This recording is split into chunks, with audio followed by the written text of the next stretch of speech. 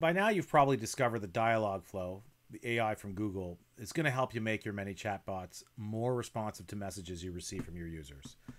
In part one, I covered why you need Dialogflow, how it works with some very basic examples, how to connect your bot to Dialogflow for free, and how to start training your AI to make your bot smarter.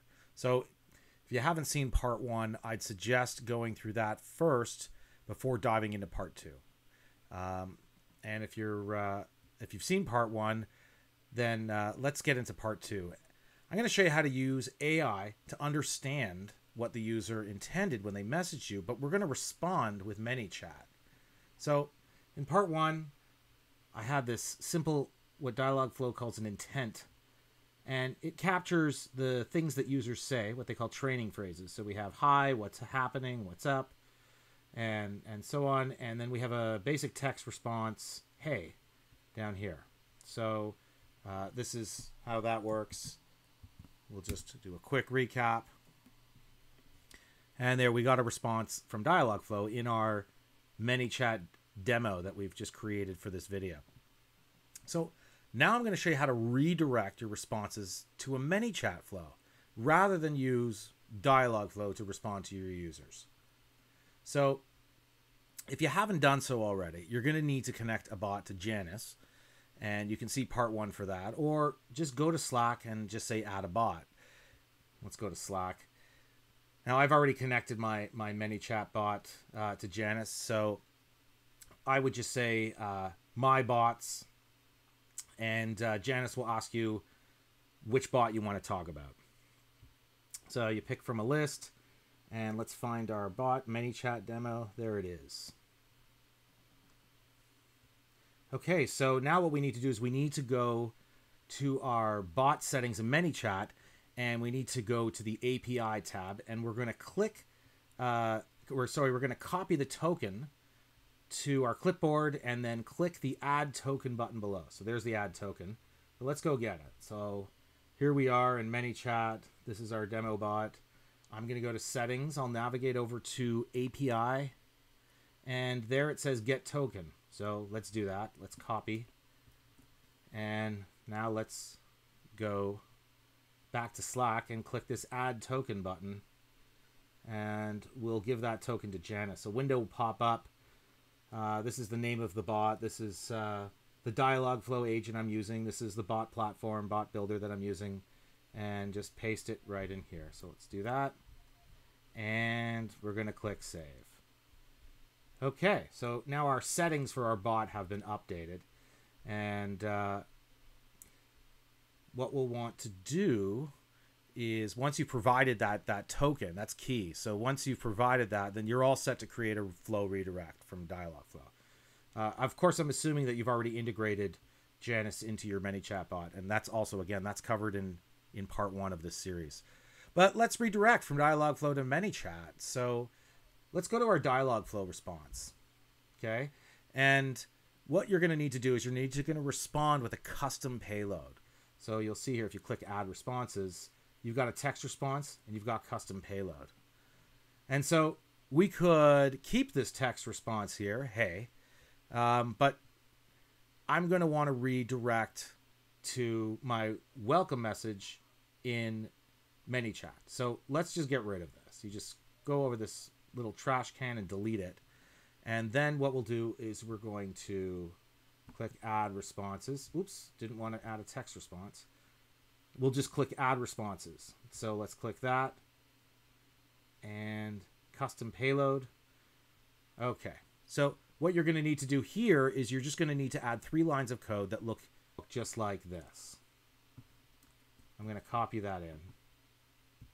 Go back to here. Now, I could have uh, I could have written this code out, uh, but that's a pain, so I've just copied it. So now what you'll need to do is you'll need to get the flow ID for the redirect. In this example, when a user says hi, or any of these these similar phrases here, uh, I'm going to want to redirect the user to the welcome message. So we need to get the flow ID for the welcome message. So to get the flow ID, we go to ManyChat, and then we go to our flows. And let's click into our welcome message. And this is our welcome message. And what you'll need to do is you'll need to look at the URL. So look up here. See that? Copy that. The end of the URL, anything after that forward slash, that is your flow ID. So just copy the flow uh, ID to your clipboard at this point, and then in Dialogflow, go back here, and in between these two quotes, just paste the flow.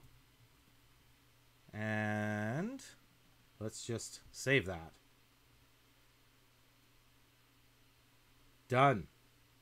So we'll probably want to give it uh, a, a, few seconds to train. So I might as well explain something else. These flows, these flow IDs, they're different. So you'll see that if I go to a, a different flow, let's go back to my flows, and you'll see here. Let's go to this one for backpacks. This is an e-commerce demo. Um, here is the flow ID after this after the forward slash. It's not welcome. It's this content and a whole bunch of numbers. So I'll copy that to my clipboard here, right? So we already have one. We've had the we have the redirect set up for this welcome intent. So let's see if that works.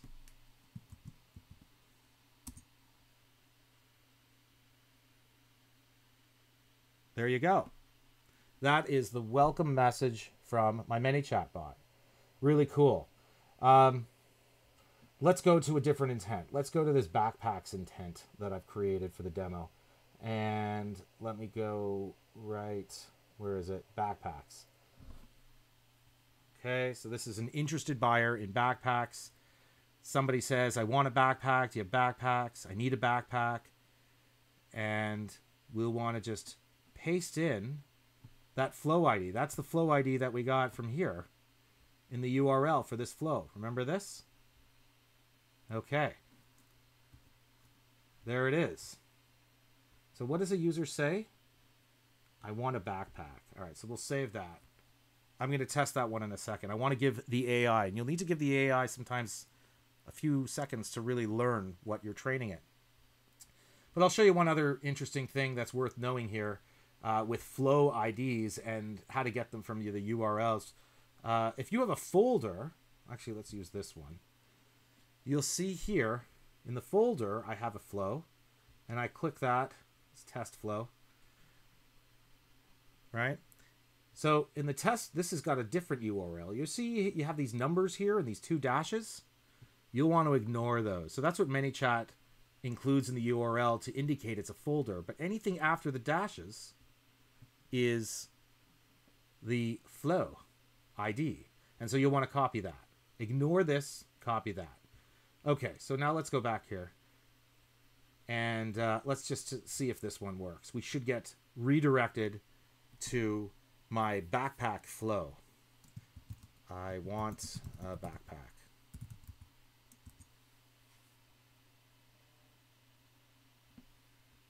And there we go. Sure, do you need something small for school or something larger for camping and exploring the world?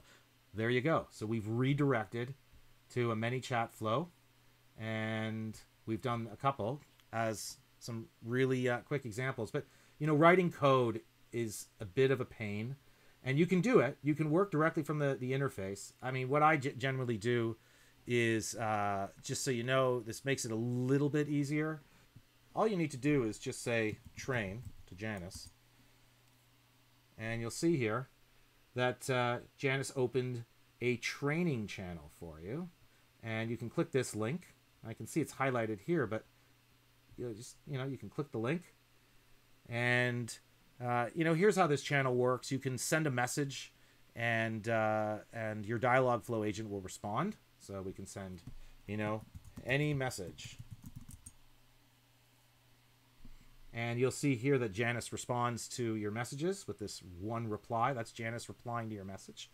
And the, these messages are hitting your Dialogflow agent. So, uh, you know, anything you send uh, in here is going directly to Dialogflow, and you, it's a really quick way to test out uh, uh, what users say and your responses. And I have, you know, if you have other people on your team, you can mention them. So if I want to mention Mike Nathanson, who's on my team, I just mention him, and uh, I can say, "Can you help?" And so we can train together. So I'd have to invite him to this channel, and then, you know, he can take over, or we can work together. Um, let's say I want to.